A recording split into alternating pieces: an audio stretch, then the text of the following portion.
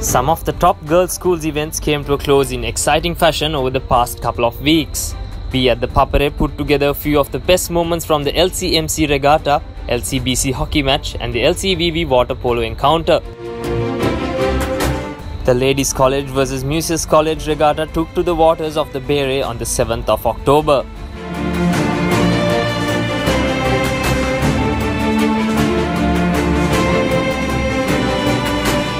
Although closely contested, it was the blue and yellow of Musaeus which prevailed by 2 points as the final scores read 27 to 25.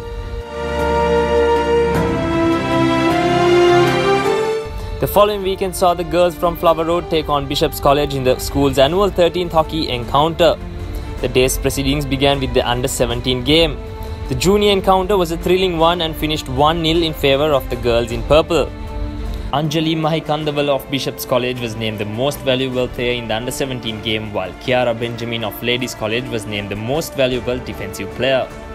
The seniors took to the turf with the weather threatening to ruin the big game. It was a tight tussle from the onset, and deep into the second half, the score still stood at nil all. A final minute strike from Shamindri Pereira turned out to be the decisive goal as the Bishopians grabbed the win to retain the trophy. Aindi Alas of Bishop's College was named the most valuable player of the match. Nihinsa Vidana Patirana of Ladies College was named the most valuable defensive player, while Tenuki Samaranayaka of Bishop's College did a double, winning the Best Goalkeeper award in both the junior and senior categories.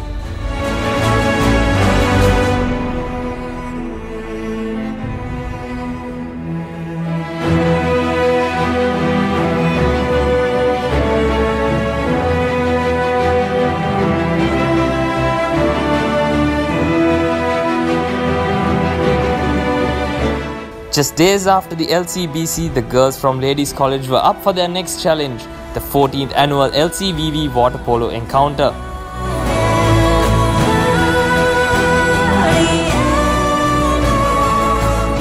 Ladies had it all their way in the first match of the encounter, winning the under 15 game 17 goals to 4.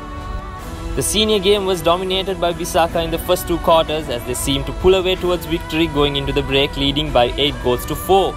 However, ladies fought back and managed to equalize in the final quarter with a minute left in the game. Despite this last-ditch effort, a final minute counter-attacking goal by Shalina Pires meant that Visakha Vidyalaya retained the MN Edusurya trophy for the seventh consecutive year as the game finished 10 goals to 9 in favor of Visakha.